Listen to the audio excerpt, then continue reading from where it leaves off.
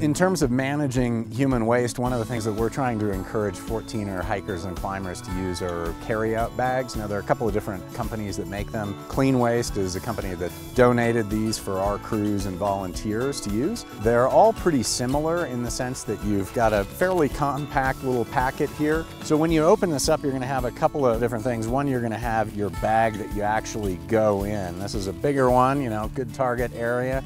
And inside there's a, a gelling agent that's going to get rid of a lot of the, the liquid.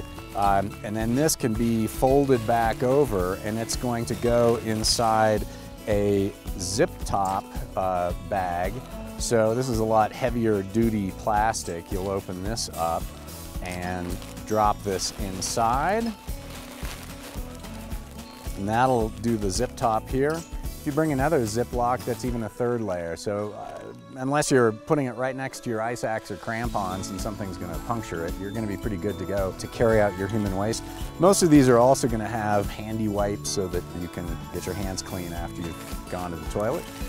Doing all this is really gonna help the mountains. It's gonna reduce the human waste that's there, both that's gonna be a problem because it's not degrading, as well as it's just frankly kind of disgusting when you go up and you need to go to the bathroom and you find that there have been a whole bunch of people who've been there before you. So a uh, few quick steps that can help protect the 14ers.